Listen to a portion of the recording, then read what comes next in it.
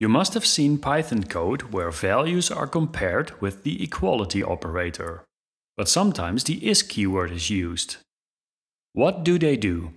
And when should you use one or the other? Here is the answer. Look at this class. It's an employee class which is initialized with an employee name. Now I create two employees with the same name. Let's compare the objects. The equality operator checks if both objects have the same value. The is keyword checks the identity, which means checking if both variables point to the same object in memory. Both comparisons return false.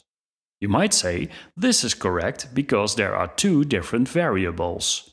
Surely they are not the same things. Now look at this code. Here you see the same comparisons with integers. What do you think is the result now? Hmm, that is strange. Both comparisons return true. There must be a difference between an integer and your custom class. And of course there is. Let's start with object equality. Object equality means that even if two objects live at different memory locations, they are considered to be the same. Here you can see two objects with the same employee name. Each object is assigned to a variable. As authors of the class, we want to define that the objects are equal to each other. You can do this by implementing dunder equals like you see here. When I run the code, the equality check now returns true.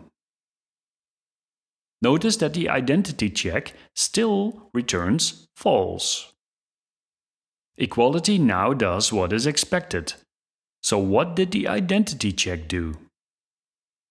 I can explain this really easy because there is no Python programmer on this earth who has not seen the following. Here is the same code as before, but this time I print the objects. You already know what the result will be. Python prints the objects, but since we did not implement dunder string, Python prints the object identities. So now you also know the meaning of the strange addresses here. And look at the addresses.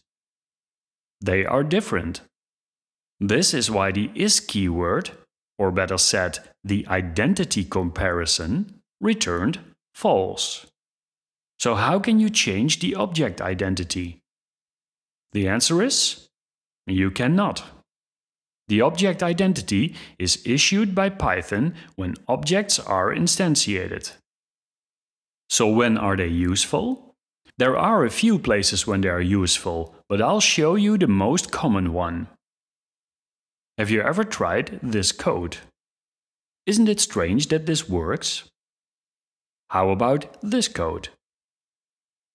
None, true and false are objects in Python but they are special objects called singletons. That means that there will always be a single instance of them. And that means that they will always have the same object identity as long as the program runs. Look at this code. A is set to none. It actually means you point A to the already existing none object. And that means Python can check if A is none by just checking if A points to the same memory location as the none object. And now you have all the knowledge to answer the question from the beginning. When to compare for equality and when to compare for identity.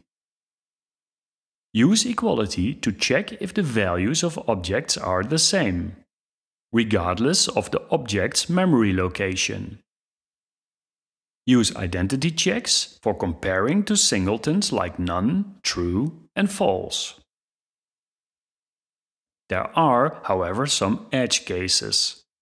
For example, two variables pointing to immutable objects might or might not get the same identity.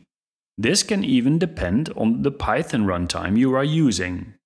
My advice is to always test equality and identity yourself to exclude any unexpected surprises. I explain object identity and object equality in depth in my Python data model course on Udemy. I'll put a link with a discount in the description. I hope this helped you.